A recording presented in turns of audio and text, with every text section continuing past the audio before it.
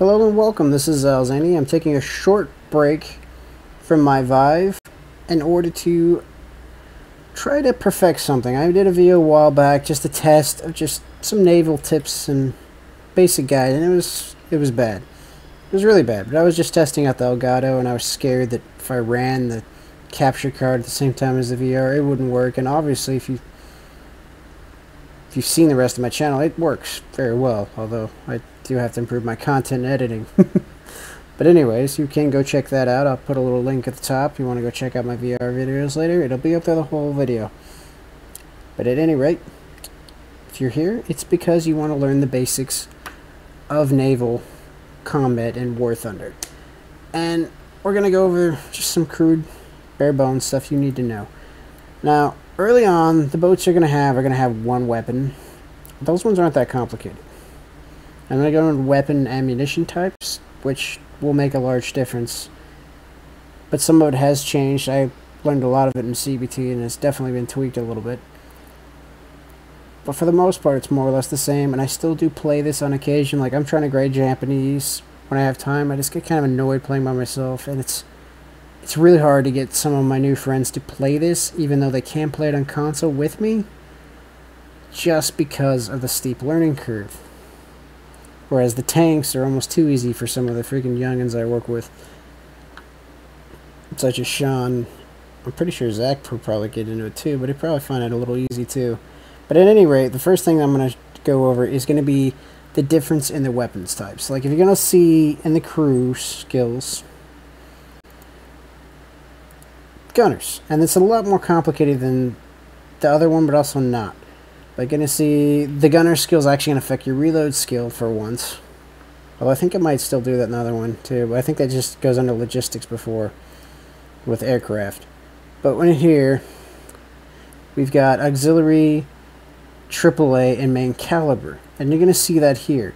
Like, that's a main caliber gun. That means, by default, that's to be the gun I'm to be aiming with, as well as this one, which is I still think it's really weird they did that that way, but nonetheless, it would have been cooler if these two front guns were linked, but... And these are considered auxiliary guns. I don't know why that disappeared for a second. And there's two of them on here. Now, in order to get the auxiliaries, you type, or you just push Alt and then 2. At least for Xbox, or for uh, PC, you just do Alt 2. And you can swap them out. Like I can swap auxiliaries. All three would be AA, which I don't have any on this particular boat. And then I can just go back by hitting Alt 1. You can also hold X2 and X3 and even X1 now, which they didn't have in CBT, to tell the AI for those weapon groups to target that target first. They still won't target it unless it's at a certain range. And I've seen sometimes where they'll still ignore something within shooting range, which kind of annoys me. But nonetheless, it helps you set up priority targets. Like if you see a bomber circling you and you think he's probably going to do a run for you, it wouldn't be a bad idea to look up, do X2 and 3 so your AI gunners know, you know, ignore the other aircrafts and shoot that guy first.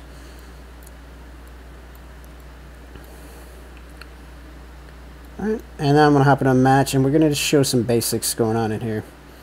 Oh yeah, and one of the things too you should learn is that aircraft are way different in arcade.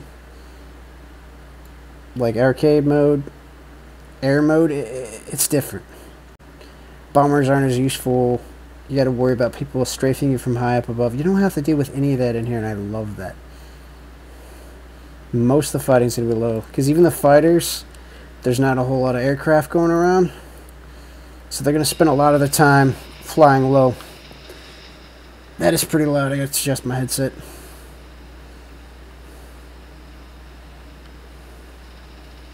Uh, another thing right here, you can see I can hit Q, and I'm firing one torpedo at a time. And if I hit X to lock on, he'll do a, it'll do a projected course. I don't think that guy's going to be dumb enough to keep driving in a straight lines. That fired all at once. It wasn't supposed to do that. Awesome.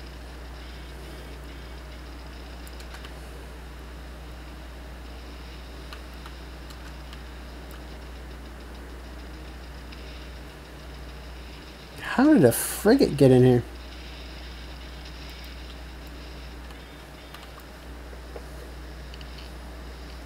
Oh, I can still show you more footage. I didn't expect that. Oh, that guy's gonna park. It's gonna make him really easy to get hit with some artillery.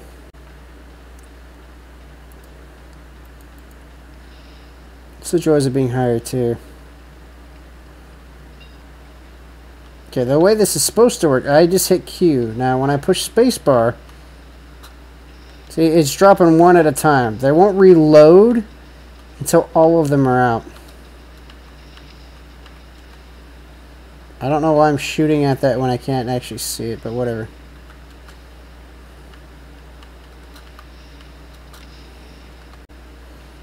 I gotta dump these torpedoes just so I can reload it.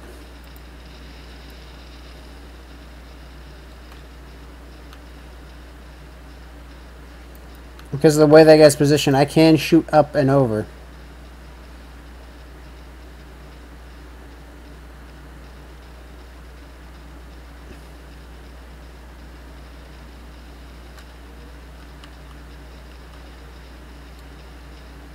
I'm not going to do a whole lot of damage to a frigate.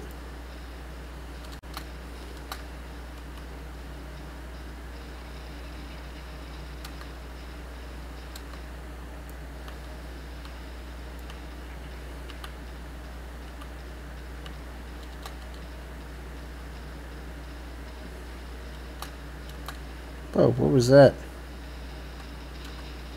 Seriously, what the heck was that?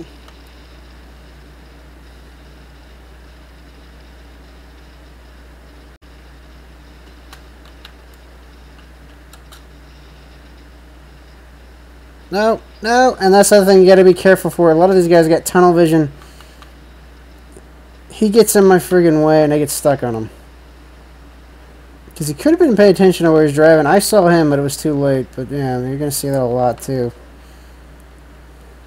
But now I can pull out some planes. Like you can see, this comes a lot more fun. Like this one I especially love. Like I'm switching to ground targets on this just because it's got AP rounds. And with this particular thing, because it's 50 cals with AP rounds, most of these boats aren't going to have armor anywhere but in the turrets. I can do some serious damage. And I've also got little rocket tubes. Which will also do some fun damage. I mean, torpedoes would definitely work better, and bombs would work pretty good too, but it just feels pretty fun because I get to turn this thing into basically an attack aircraft. I get lucky, I can find one of those frigates again, and I can just go hog wild on it. I just gotta watch out for that heavy AA. I am a big enough target. A heavy AA could do some serious damage to me. Can I also go mess with this guy. He's a pontoon boat, so he might actually... No, no, he's not a pontoon plane. I was going to say, if he's pontoon, he might try to land. No, he is.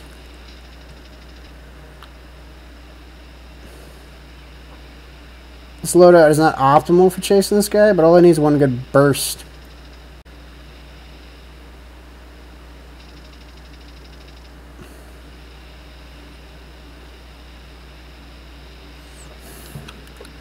I'm gonna try to see if I can get my hands on this light AA. If he sees me, I'm screwed.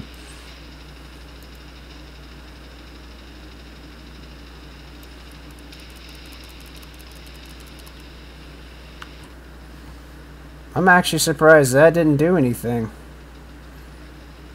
That was sadly disappointing. Oh, and one of the other advice tips I do need to give out is if you can group up, do it. And try to stick together. You do get bonuses for helping each other. It's mostly for lines.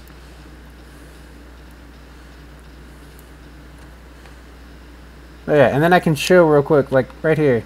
Alt 2 these are considered auxiliaries. I am now in charge of them. The AI is now running my main gun. I can switch back, and these guys are just doing their own thing. And you push E, now they're aircraft only, now they're ship only, now they don't fire, now they shoot everything. That does come in handy, like there's a lot of planes nearby, I may want them to ignore boats, because they may want to shoot a boat that's two kilometers out, but there's a plane about to strafe me, and I want them to attack that. I just tap E real quick, until they're on AA mode.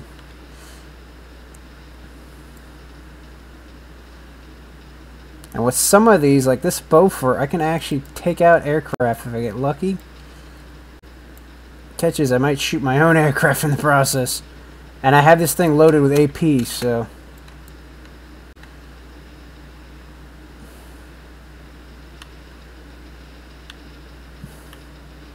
But if I shoot him in the engine block, I'll rip it apart. I'm not going to hit this guy without some HE, though. Not from this range. I might get lucky, though. It's pretty much the only thing we're shooting at.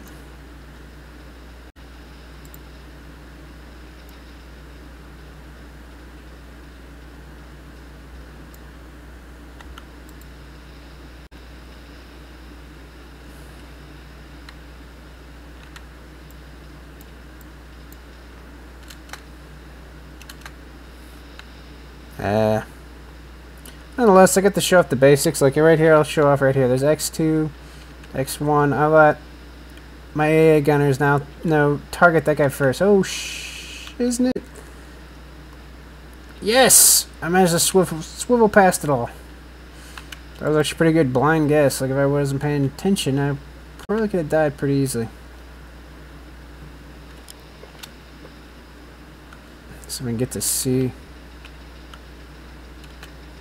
You see, like, the AI gunners, well, they would have shot at that guy anyways. There's nothing else to shoot at.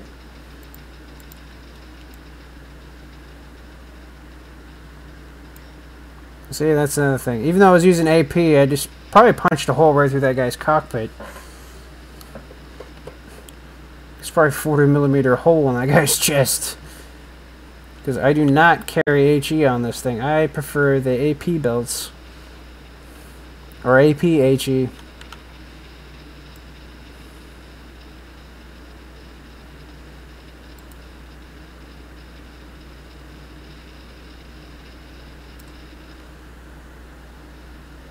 He dropping some big boy bombs. So you can also see he didn't have a salt fuse delay on that. Or it didn't just explode at all. That's really weird. And you want to use your smoke sparingly. A lot of people get pretty excited and use them all over the place.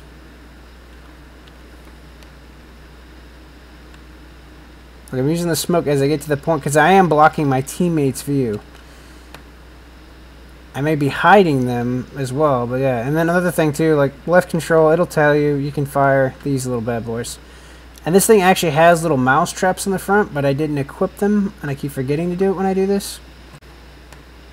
And depth charges may not sound that impressive, because there's no submarines, but uh, the way it works, the explosion in the water, the water becomes basically it's like a cement wall slamming into the side of a boat. It can do some serious damage with depth charges. So don't be afraid to use them if someone tries to get close to you. Or if you're a fast mover and you guys just happen to pass each other, like at that particular map in that middle section. There's plenty of opportunities if you're on your A game to drop a depth charge and have someone pass you and drive into it. And just get ripped apart. Okay, but I pretty much covered all the basics I want to. Like, you can look at this stuff and see, like, obviously, first thing you want to unlock, pretty much everything in War Thunder is going to be the tool set, fire protection. Like, nowadays, it even automatically starts you at the tool set. Thank God. It used to do dry docking and other lame shit. But yeah. And after that, I recommend finding what you want. Like, me, I know what type of ammo I like. Like, I want this AP ammo. So once I got these two, I went straight for this AP ammo.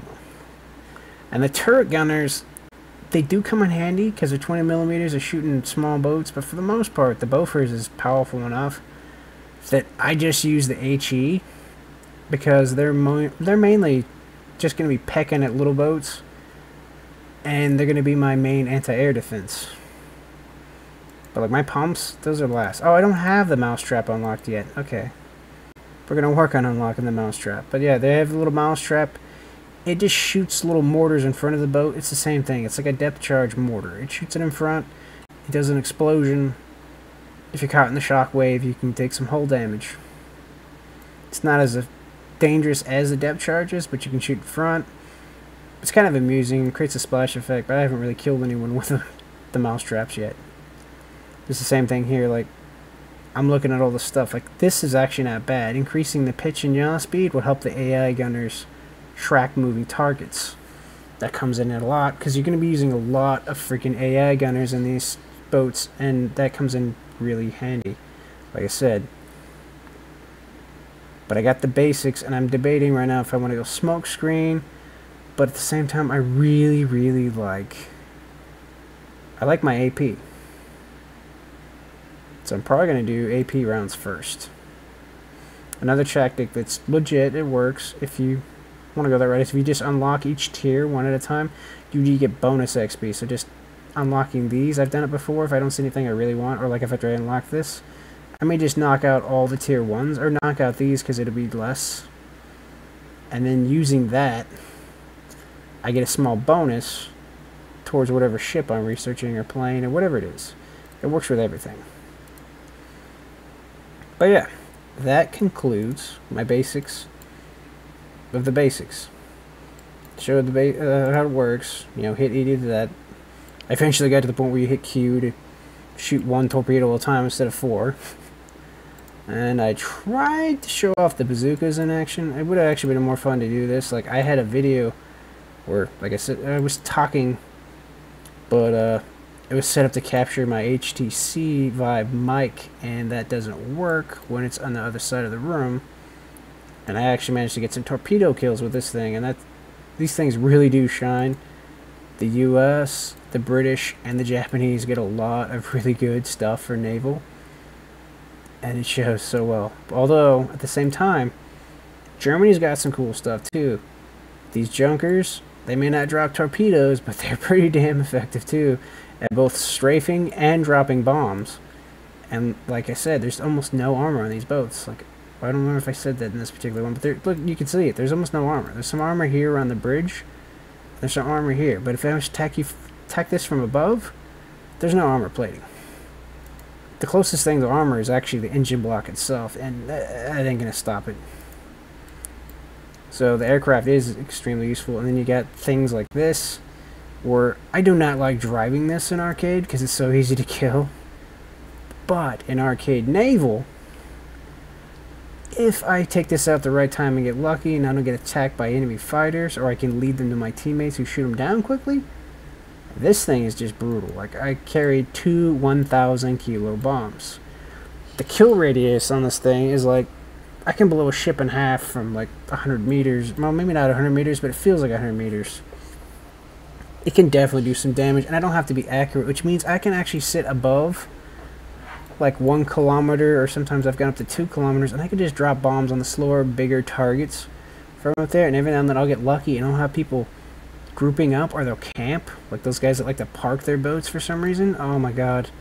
I love it when they park their boats close to each other because I can drop these and just go hog wild. And there's also another one somewhere in here. Is this it? No there's one of them that can drop the, the fits. I think this can drop one. And I have done that. And these are pretty cool. These, uh... This one right here is an actual guided bomb. It's a little tricky to use. I may do a video just on using it. It is very effective. It has a very big explosion radius as well, but those other ones, those 1,000 kilos, have the bigger one. But with this, you can set up from 2 kilometers easy, drop the bomb, and you can guide it in and you can hit destroyers and other large targets pretty easily. In fact, Phly Daily did a really nice video on this. You can even get to the point where you can nail like three or four ships with this bomb and it doesn't have that big of a warhead. But the fact that I can guide it in means I can get closer to a big cluster.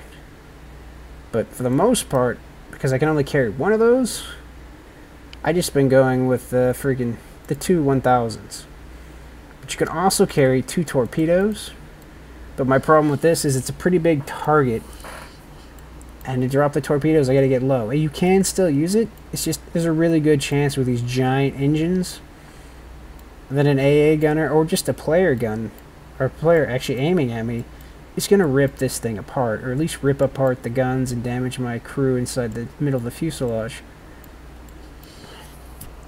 Whereas with the bigger bombs, I can actually drop it at higher higher points where I just got to worry about the AI gunners because the players aren't normally paying attention.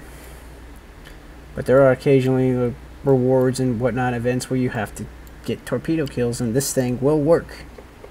It's not the best, but she carries two very big torpedoes, and the way it works in naval is a torpedo, pretty much any torpedo will one-shot a boat. I don't think any of them have torpedo liners or whatever they're called. The torpedo bulges, the torpedo belts, that's what they are. So there's really no protection. You hit someone with one of these, unless you hit him in the nose with some of the bigger boats. I think I've had that happen once. You hit it in the nose where it does severe damage and it just causes flooding. But you can still live through it. But you hit someone mid-ship, there's just no way they're going to survive. It's going to rip apart the module and destroy everything in it. And it's going to be not salvageable. That boat's going to be worthless. Even if it could still float, it's not battle ready. They'd abandon ship. Anyways, that is the conclusion of my basic. If you somehow made it to this point, please like and subscribe. And go check out my VR videos. They're pretty fun. I'm doing a lot more of those.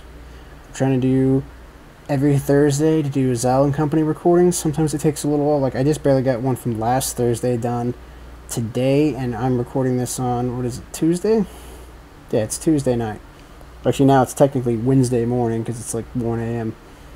But I just barely finished uploading that Tuesday night. But that's because I ran into some issues. Also didn't help. Someone got VR sickness, which screwed up the whole recording. But anyways, enjoy. Have fun.